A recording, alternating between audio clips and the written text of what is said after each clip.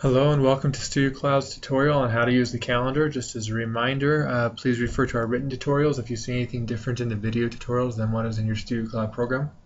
Uh, we always keep the uh, uh written tutorials up to date, whereas the video tutorials um, take a little bit longer to update.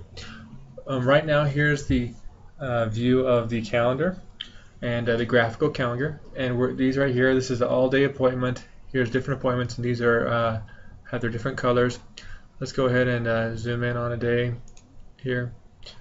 Um, you can use the wheel on your mouse if you have one to uh, scroll up and down on the day.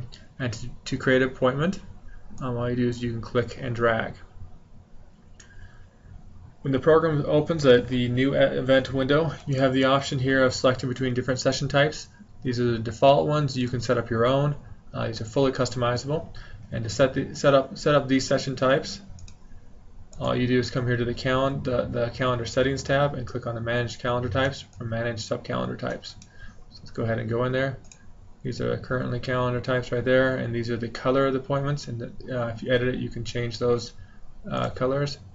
You have um, and then you also have actions that you can do if you want to when you save the uh, appointments so you can have it send emails when it, uh, to an employee or to a client if you want to and then you have the default length in minutes. Now this one right here causes a little bit of confusion because when you come in here, that, um, that appointment we had was set for 30 minutes, but when you come in here and open this up, it, it shows you the time that you had selected, which is an hour. You have two options. You can click the use default appointments, and then uh, when you switch, it will automatically adjust it to the time of that. If you always wanted to do this, in other words, you do not want it to, to register the drag and, and length based upon that, but you just want it to always be uh, by default whatever the length of the session type is, then you need to come into the manage calendar options. And this one enable auto select default time frame for calendar. Um, this will make sure that when you no matter what you select you'll always use that default time for the session type. That does mean that you can select the session type um, here and then come down here and override it, but it just means that these are the session, the calendar type and the calendar subtype um, are essentially uh, are by default. Um, they override everything else. Uh, to with this new event window, you can create new clients right from this window, and you can also add clients that you've already previously uh, created by by either double clicking or drag and dropping. Um, you have your event name and this is what appears on the event in the calendar. You have your notes. You can change the, the event color, but it also, depending on your um, calendar type, see how it changed right there, it will, it can, you can have it change it as well, so you don't ever need to do it. If you want an all-day event, that's right up here, is an all-day event. You can select that. Uh, you can select whether the appointment's confirmed or not. You can also track it based upon marketing campaign if you want to. Uh, you can also create multiple events and uh, this is the options you can go through and, and, create. I want this event created multiple times. Over here, these options are only available for the uh, um, employee boost um, and the partner boost um, and this is where you book employees for an event and equipment and locations. Um, in addition, you can add in additional notes here, event details, and the address for that if it's if you want to have it recorded right there. You can get directions to this event. You can view the, the event location on Google Maps. From this window, you can also create an invoice. A lot of times, people will have a customer call in over the phone. They'll go and find. So let's actually walk through this whole process. Uh, save this, and we're going to double book a client. And uh, and uh, we have a client that's also in this all-day event. Uh, sorry, an employee. So we have an employee up here, and so we just double booked that employee, and it, it warned us about that. When you're so what you're going to do is you're going to have a customer call up over the phone, and they're going to say, "Hey, I want an appointment, and uh, I want to schedule a, a, session with you." And you'll find you, you can look through the calendar view here, find open spots, and uh, click on it to book it. And then at that point, after you confirm you have a spot for them, oftentimes you'll uh, go in here and create the new client here and enter their information over the phone. Or you can, um, as I mentioned previously, just drag and drop, and for this example, do that. And then from this window, you can go down here, create, and so after they booked everything, um, you can create an invoice directly from the event, uh, which you would do if you're going to have to do a like a, a, down payment or there's a session fee or something like that. You just create the event. You can create the invoice directly from the event. What that did is it assigned the session um, to this invoice as well as a client, so that you can see that uh, there's a client right there. Um, and then uh, you go through the process of doing an, an invoice, which is a different video tutorial. Now let's go ahead and go back to the uh, edit um, the new event window. Uh, we also have a few other options here. Print, you can print this event out. This will open it in a, browser. You can print it directly to a DYMO printer. That's what you do if you want to do labels, uh, stickers, and stuff like that. You can send emails to a client directly from this window. So you have this option of sending emails to a client here. And you also have this option of sending the emails to the client from this window as well. If you have the calendar type set up uh, with a default action, then it, then this would be uh, pre-selected. Um, we don't have one in this instance, but it would pre when you select the calendar type, it would pre-select whatever you had as the default for the calendar types with the correct email template that you'd want sent out. And so when you click the save button, it just automatically send it out. The option down here to send the email, this will open up the email window and you'll have to go through the process. And so this one just streamlines it, streamlines it so it's one complete process. Under the more actions, you can generate a document or a contract from the details of this uh, event. And uh, sometimes people uh, want to have folders pre-created to store files or images uh, for an event. And so that button right there will pre-create folders in your in your desktop for an event. Let's go ahead and edit a session. Now some of the things that are different between the, the new session and the edit session is we no longer have that notify option. That's only when you create a new session. And then here uh, we have invoices, which in this example we don't. But this would this would uh, list out the invoices right here. And it also, if you wanted to, you could list out the uh, file storage that's attached to this uh, event, um, which in this instance we don't have any attached to it.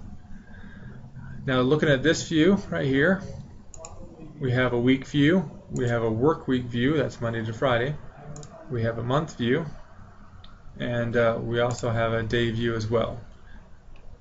We have an option up here to filter by calendar types. Let's go ahead and go to the month view. And this will only show what you set up for the calendar filter to do. So in this instance, we don't. Jane's not booked at all, but John is booked for these two appointments. Uh, calendar filters are really powerful because you can also uh, let's come into here, new filter. You can also um, select uh, specific configurations. So if you wanted to look at certain types of uh, session types, you can do it here. If you wanted to just view certain employees or a combination of them, so you want to see John Doe when he's booked for a, uh, a wedding uh, reception, you can do it there. If you want to do it based upon location, you, so you want to see John Doe when he's booked for a wedding uh, at the garden, you can do it there. So you can do any any combination. Um, and you can just select all if you want to see everything or whatnot for that. Select all right there, so just speed things up. But once you've done that, you can export that out to ICS, which is really useful because if you have a bunch of employees, you can create a, a different filter for each one, and you can then send them um, their link for their filter, and, they can copy and paste that into their phone or their iCal or Outlook program, and that means that they'll be able to see just their schedule, and it will automatically be updated for them. Uh, this does require the partner boost uh, or the employee boost. Um, I'm sorry, this, I misspoke. This calendar filters does require the employee boost. And then we have uh, uh, the ability to import um, uh, ICS feeds. You click on here and you click import, and it gives you different options to import the calendar into here.